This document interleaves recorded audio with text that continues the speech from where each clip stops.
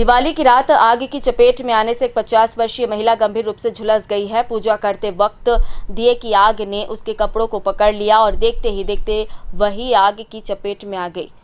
घटना में वह करीब 75 प्रतिशत जल गई है, जिसे पहले मेडिकल कॉलेज, जिला अस्पताल में उपचार दिया गया, फिर उसे बेहतर उपचार के लिए बिलासपुर रेफर कर दिया गया। दिवाली की रात मुड़ापार क्षेत्र में रहने वाली एक 50 वर्षीय महिला के लिए काली रात साबित हुई है।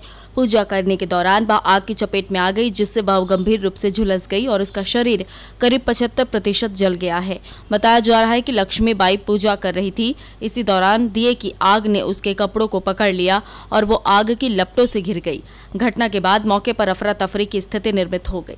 आसपास के लोगों ने जैसे तैसे आग को बुझाया और मेडिकल कॉलेज, जिला अस्पताल में दाखिल कराया। महिला की स्थिति गंभीर देख प्राथमिक उपचार देने के बाद उसे बेहतर उपचार के लिए बिलासपुर रेफर कर दिया गया है। बताया जा रहा है कि लक्ष्मी पति के साथ घर पर रहती है और उसके बच्चे कमाने खाने के लिए बाहर गए हुए हैं। बहरहाल महिला का उपचार अस्पताल में किया जा रहा है। आग जलने का मामला यह है श्रीमती लक्ष्मी चौहान, पति शिव कुमार चौहान पैंतालीस वर्ष की है, जो मुड़ा पार से कल लक्ष्मी की पूजा थी तो उसमें बाती जलाते समय उसकी साड़ी में से जल गई थी और और अभी अस्पताल लेके आए हैं और उनका स्थिति अभी सामान्यजनक है।